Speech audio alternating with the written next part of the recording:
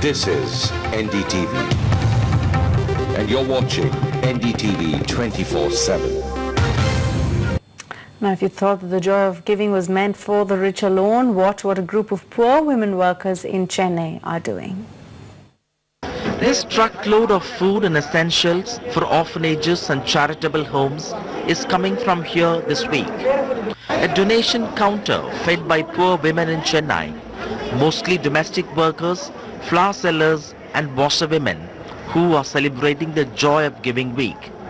ஏழையா இருக்கிறதுனால நம்ம மத்தவங்க கிட்ட இருந்து வாங்கணும்ன்றது அவசியம் இல்லை அதனால நம்மளால முடிஞ்சது இன்னொருத்தர் கொடுத்து உதவணும் நம்மளுக்கு கீழே இருக்கிறவங்கள பார்த்து அவங்களோட நம்ம நல்லா இருக்கோம் நம்மளால முடிஞ்ச உதவி அவங்களுக்கு செய்ய முடியும் And those who have been contributing now are already asking, how can they give again?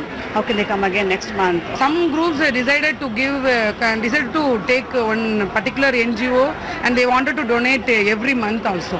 Many of the basic requirements of these women are yet to be met. But that's not an excuse for them to remain as recipients forever.